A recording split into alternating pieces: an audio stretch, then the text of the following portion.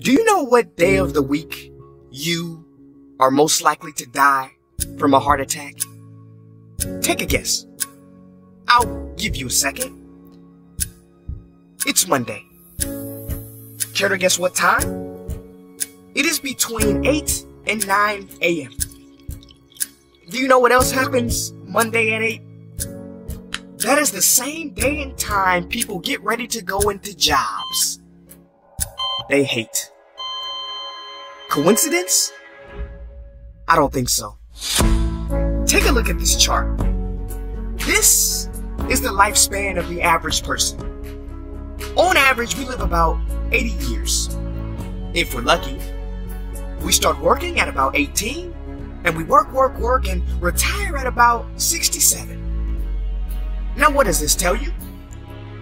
That for better or for worse, the majority of your life will be spent at work. Do not spend that time unhappy. like my friend Jay. See, Jay would always say, when I finish school, then I'll be happy. Well, Jay finished school, but he wasn't happy. So then Jay said, when I get a job, then I'll be happy. Jay got a job, but he still wasn't happy. So Jay said, when I get married, settle down, and have kids, then I'll be happy. Well, he got married, settled down, had two kids, but still wasn't happy.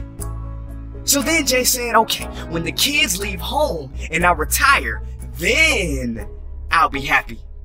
Well, the kids left home and he retired, but he still wasn't happy. So Jay started going to church. And I asked Jay uh, why he was going to church so much. And he said, because when I die, then I'll be happy. Jay's story, however sad, is not unique. I could have replaced Jay with Johnny or Bonnie. In fact, Jay's initials stand for just about everybody. Many of us are like Jay. But it is not our fault. We have been tricked to stay stuck in jobs that are literally making us sick and to be and then people. You know about the and then people, right? It is people who constantly say, and then I'll be happy. Ladies and gentlemen, we must go from living as and thens to becoming right nows. We have to be happy right now. How?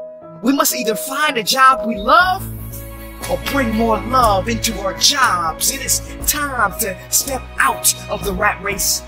Cause the funny thing is, even if you win, make a load of money, hold up the trophy that everybody hails, you're still a furry rodent with a pointy nose and long tail.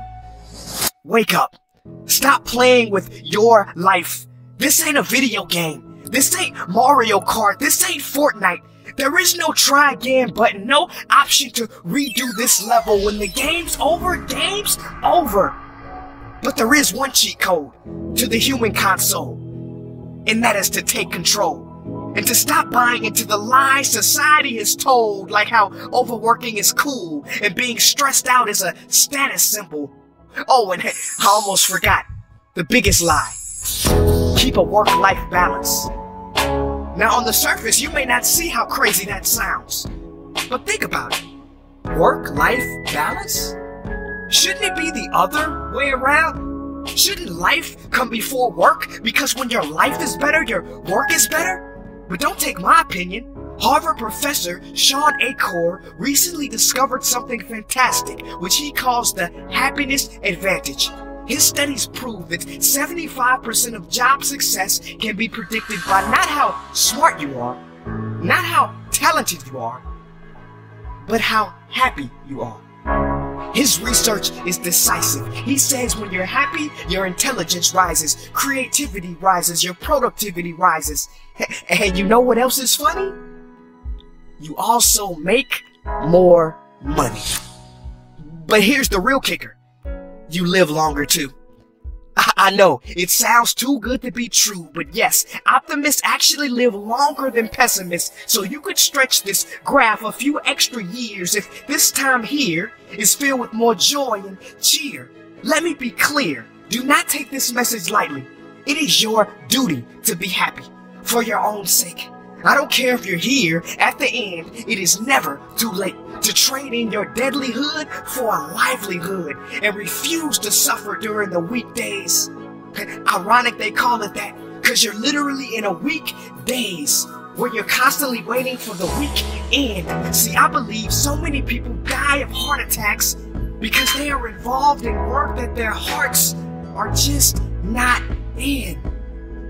I believe people have low vital signs because they are involved in work that is not vital to them. My friends, happiness is a choice, but anyone who says it's easy has lied.